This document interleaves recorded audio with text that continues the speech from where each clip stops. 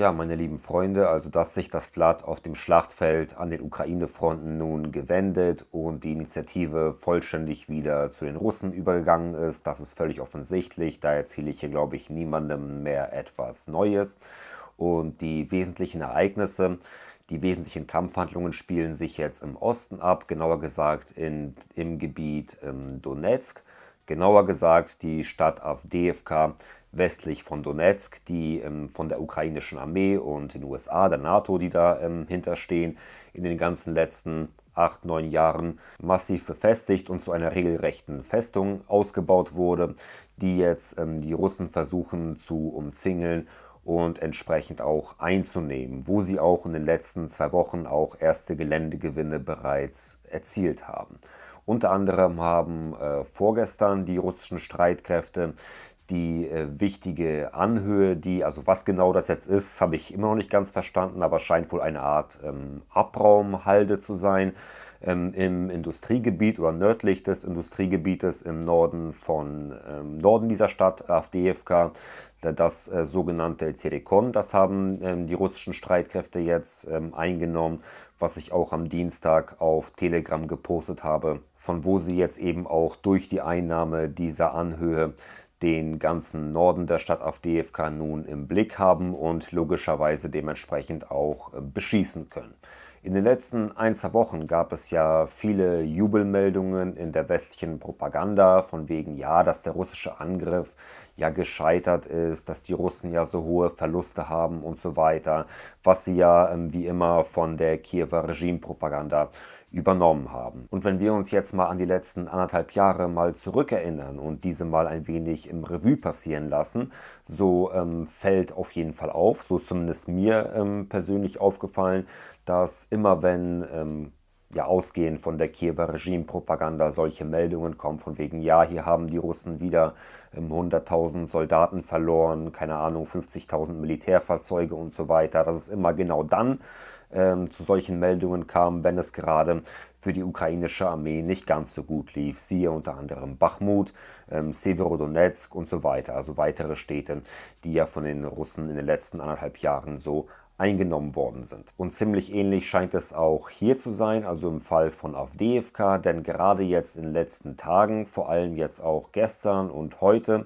haben die ganzen Propagandamedien, die in den letzten ein, zwei Wochen, wie gesagt, diese ganzen Jubelmeldungen äh, veröffentlicht haben, plötzlich einen ganz anderen Ton angeschlagen. Und ich möchte heute wieder einmal einige Publikationen aus den Propagandamedien euch ähm, demonstrieren, zumindest ähm, einige Ausschnitte davon. Also die können sich ähm, teilweise auch überschneiden, also ähm, einige Abschnitte aus diesen Publikationen, aber dennoch ähm, halte ich es für sinnvoll, euch das einmal zu demonstrieren. Anfangen möchte ich hier mit der Meldung von tagesschau.de von heute Mittag. Lage um umkämpfte Stadt Avdiivka in Ostukraine verschärft sich. Bei der umkämpften Stadt Awdejewka im Osten der Ukraine hat sich die Lage für Kiews Truppen verschärft. Hier findet eine Schlacht statt, in die der Feind seine Hauptkräfte wirft, schrieb der gut im Militär vernetzte Journalist Juri Butusow bei Telegram. Russisches Militär hat nach seinen Angaben entlang eines Eisenbahndamms nördlich der Stadt ein Gebiet von etwa einem Kilometer Breite erobert. Vorstöße über den Damm werden in Richtung der Dörfer Stepavoje und Berdici und das Gelände der stadtprägenden Koksfabrik erwartet. Also damit ist offensichtlich nicht das Material gemeint, was Zelensky sich da ähm, jeden Tag reinhaut, sondern in dem Fall ähm, eine Kohlefabrik. Von einst über 30.000 Einwohnern sind in der stark zerstörten Industriestadt nur noch etwa 1000 verblieben. Avdiivka ist bereits mehr als zur Hälfte von russischen Truppen eingeschlossen. Oder jetzt hier der Beitrag von NTV, ebenfalls von heute um 13.13 Uhr. .13. Hier heißt es: Geländegewinne der Russen. Kiews Truppen geraten in Avdeevka unter Druck. Vor gut zwei Wochen startete die russische Armee Angriffe nördlich und südlich von Avdeevka. Für die Verteidiger der Industriestadt wird es langsam eng. Beobachter verzeichnen Erfolge Moskaus. Der Nachschubkorridor der ukrainischen Armee wird kleiner. Bei der umkämpften Stadt Awdejewka im Osten der Ukraine hat sich die Lage für Kiews Truppen verschärft. Okay, diesen Abschnitt haben sie offensichtlich von tagesschau.de übernommen oder tagesschau.de hat das von NTV übernommen, wie auch immer, oder die haben das von einem Dritten irgendwie übernommen. Gut, also diese, diese zwei folgenden Absätze brauche ich nicht noch einmal vorlesen. Die überschneiden sich nämlich genau mit dem, was wir eben gerade schon auf tagesschau.de äh, gesehen und gelesen haben. Aber gut, dann vielleicht den zweiten Teil dieses Artikels. Von einst mehr als 30.000 Einwohnern sind in der stark zerstörten Industriestadt nur noch etwa 1000 verblieben. Avdeevka ist bereits mehr als zur Hälfte von russischen Truppen eingeschlossen. Dem ukrainischen Generalstab zufolge sind in Stadtnähe im Verlauf des vergangenen Tages 15 russische Angriffe abgewehrt worden. Warum nicht 150? Die russische Armee versuche weiterhin, Avdeevka einzukreisen und setze dafür auch Flugzeuge ein. Das ist übrigens ein wichtiger Punkt. Das ist auch ein kleiner Unterschied zu Bachmut, weil da ähm, die russische Luftwaffe noch nicht äh, so aktiv eingesetzt wurde, wie es jetzt bei Avdeevka der Fall ist. Was natürlich auch ähm, ja, ziemlich bedeutend ist. Und ähm, der Hintergrund ist der, dass Russland alte sowjetische Bomben, die sogenannten FAB-Bomben, jetzt seit einigen Monaten in großer Zahl ähm, umbaut zu ähm, Lenkbomben, zu Gleitbomben, also zu sogenannten äh, schlauen Bomben. Darüber habe ich auch einige Videos gemacht, ich glaube jetzt im Mai oder Juni ungefähr, also kurz vor ähm, Beginn der sogenannten Gegenoffensive. Und ähm, bei Bachmut äh, war es eben noch nicht möglich oder war es halt noch nicht in großer, in der Stückzahl vorhanden oder vielleicht auch noch nicht entwickelt, dass man die Luftwaffe eben mit diesen Gleitbomben entsprechend ähm, dort einsetzen konnte. Aber hier bei AfDFK ist es eben der Fall. So, also weiter im Text. Das Institute for the Study of War, ISW, schreibt in seinem aktuellen Lagebericht, dass den russischen Streitkräften zuletzt ein Vorstoß gelang und sie nordwestlich von Krasnogorowka, das sich fünf Kilometer entfernt von Avdiivka befindet, vorrücken konnten. Die russischen Streitkräfte behaupteten zudem, dass ihre Truppen die Halde von der Kleinstadt kontrollieren was ein ukrainischer Militärbeobachter bestätigte. Das ist eben genau dieses Terikon, wo die Russen auch entsprechend ähm, die Flagge aufgestellt haben, was ich im kurzen Video demonstriert habe. Der Leiter der ukrainischen Militärverwaltung Avdeevkas wies laut den US-Experten diese Behauptung allerdings zurück. Er erklärte die Halde vielmehr zu einer umstrittenen Grauzone. Ja gut, er kann natürlich jetzt äh, viel erzählen. Es hieß ja auch beispielsweise bei der Einnahme von Bachmut, noch äh, Wochen und Monate lang von wegen, ja, dass die ukrainischen ähm, Soldaten noch irgendwie einen Teil von Bachmut kontrollieren und so weiter, ja. Und jetzt hier, die Ukraine wehrt seit mehr als 20 Monaten eine russische Invasion ab. Nahe Avdeevka verlief bereits seit 2014 die Frontlinie zu den von Moskau unterstützten Separatisten. Die russisch kontrollierte Gebietshauptstadt Donetsk liegt nur wenige Kilometer südlich. Die russische Armee hat vor gut zwei Wochen mit neuen Angriffen nördlich und südlich von Avdeevka begonnen. Eine Anfang Juni von Kiew gestartete Gegenoffensive in der Südukraine ist bislang hinter den Erwartungen zurückgeblieben. Ich glaube nicht nur bislang, ich denke, das wird sich jetzt auch in absehbarer Zeit auch nicht ändern.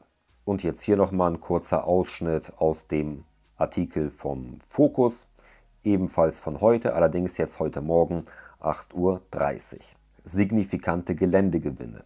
Russen nähern sich Avdeevka. Gut, hier hat es wohl einer eilig oder war noch nicht richtig wach, so dass er das Wort nähern etwas falsch geschrieben hat, aber naja, wollen wir mal nicht so sein.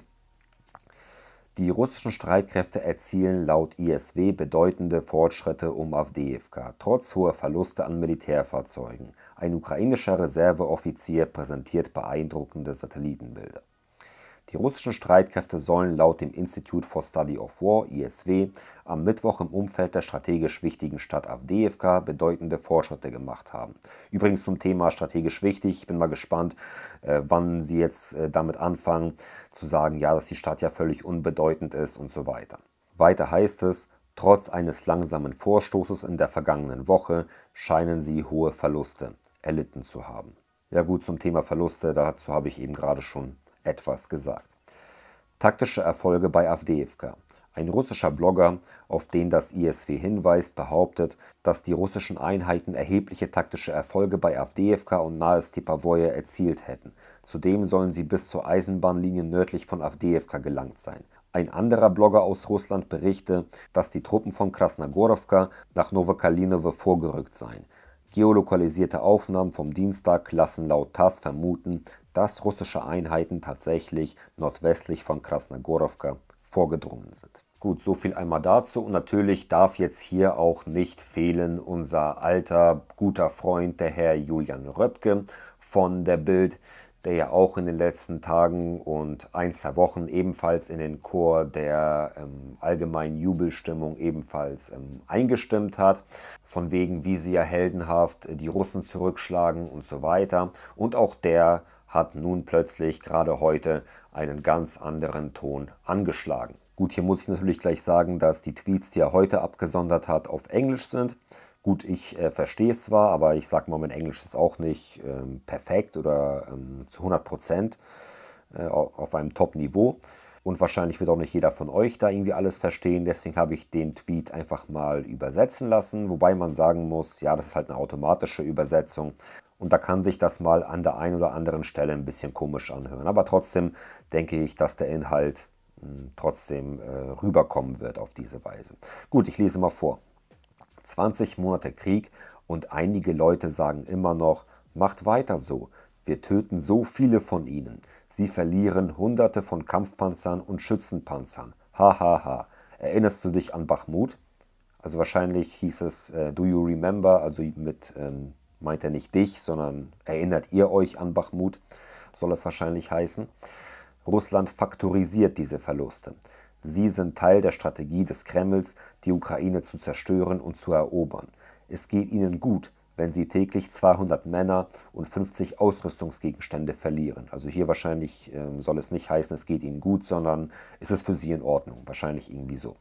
Also nein, die Ukraine gewinnt nicht dadurch, dass sie eine große Zahl von Angreifern tötet, wenn es den überlebenden Angreifern gelingt, verbranntes Terrain zu erobern der Verlust von Awdejewka wäre, Ausrufezeichen, ohne zu sagen, dass es passieren muss, einer der schlimmsten im Krieg. Es würde ein Ende des ukrainischen Gegenoffensivnarrativs und des von so vielen Beamten verbreiteten Mythos, Russland ist fast am Ende, bedeuten. Es würde auch den Druck auf Präsident Zelensky deutlich erhöhen, einen Waffenstillstand auszuhandeln, denn es würde beweisen, dass die Russen mehr ukrainisches Land erobern werden, wenn der Status quo anhält. Ja, böse russische Propaganda. Man könnte fast meinen, dass äh, das von mir irgendwie kommt, ja, das, was der Herr Röpke hier so erzählt. Deshalb verlegt die ukrainische Armee wieder einmal Reserven von Süden nach Osten und greift sogar russische Flaggen, Ausrufezeichen, in der Nähe von Avdeevka mit 1000 Kamikaze-Drohnen an. Also ich habe äh, den Kommentar gesehen äh, darunter, da hat Röpke nochmal korrigiert, er meinte ähm, mit 1000 Euro Kamikaze-Drohnen an. Und zu guter Letzt hier, Avdeevka muss gehalten werden und der Russe muss hier gestoppt werden. Ja, wie ich schon mehrfach bei dem guten Herrn festgestellt habe, der scheint so ein sehr emotionaler Typ irgendwie zu sein.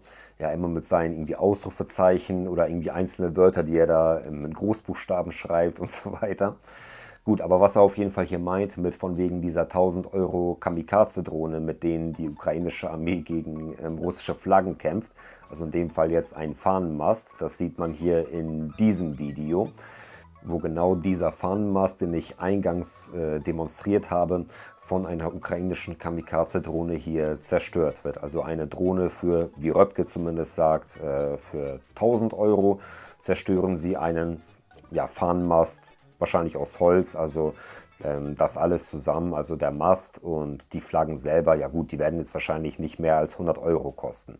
Also natürlich ist es äh, Theater, was sie da veranstalten, aber ich glaube, dass da die Russen jetzt auch kein großes Problem damit haben mit dieser Rechnung, also dass sie ihre Drohnen, also die Ukrainer jetzt in dem Fall, ihre Drohnen dafür einsetzen, gegen äh, Fahnenmasten zu kämpfen. Und jetzt noch zu guter Letzt dieser kurze Tweet von genau demselben Herrn Julian Röpke und auch der ist wieder auf Englisch und ich werde auch wieder hier die automatische Übersetzung von Google äh, auf Deutsch kurz vorlesen. Und zwar steht hier folgendes geschrieben. Die Lage um Avdeevka verschlechtert sich für die ukrainische Armee. Nach 20-tägigen Angriffen und dem Verlust von etwa 2000 bis 3000 Soldaten gelang es den russischen Streitkräften, den ukrainischen Versorgungskorridor zur Stadt von 9 auf 7 Kilometer zu verkleinern.